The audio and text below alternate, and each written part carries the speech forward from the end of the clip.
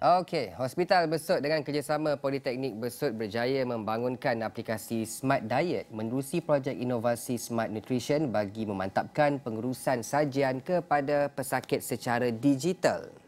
Dan pengarah Hospital Besut Dr. Wan Muhammad Faizuddin Wan Muhammad Fauzi berkata aplikasi yang julung kali dihasilkan adalah hasil kolaborasi dalam mencari penyelesaian inovatif untuk meningkatkan kualiti perkhidmatan kesihatan. Kami tinggalkan anda dengan laporan menarik ini. Saya Fizal Zaman. Saya Fahmi Izzuddin. Jumpa lagi.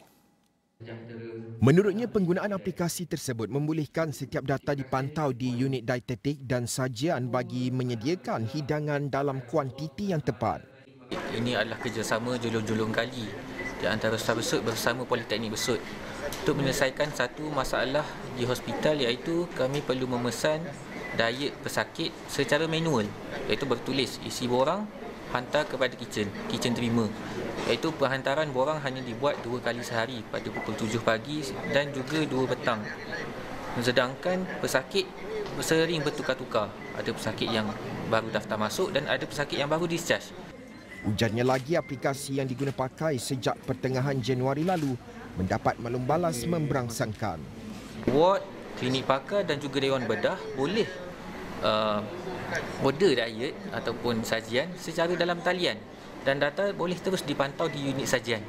Dan uh, aplikasi ini telah menyelesaikan banyak masalah. Yang pertama mengurangkan penggunaan kertas, yang kedua pemantauan data secara real time dan yang ketiga boleh men, uh, bagi pihak sajian kami menjadikan kuantiti sajian dalam kuantiti yang tepat Iaitu tiada lagi pembaziran. Sementara itu, pengarah Politeknik Besut Cik Muhtar Bakar berkata aplikasi berkenaan dibangunkan oleh pensyarah dan pelajar tahun akhir Diploma Teknologi Maklumat Pengkhususan Teknologi Digital Politeknik Besut. Jadi Alhamdulillah, projek ini disiapkan dengan sesempurnanya dan dapat digunakan oleh pelanggan. Begitu juga dengan pelajar-pelajar yang lain, mereka juga menyiapkan pelbagai jenis uh, aplikasi.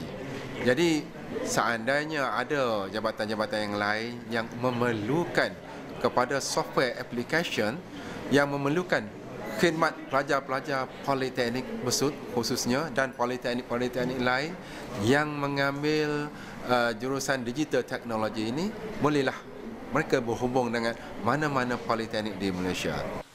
Tambahnya, inovasi hasil pendidikan dan pembangunan yang memakan masa enam bulan ini memenangi anugerah emas pada program pameran dan inovasi projek pelajar anjuran Jabatan Teknologi Maklumat Politeknik Besut pada Disember tahun lepas.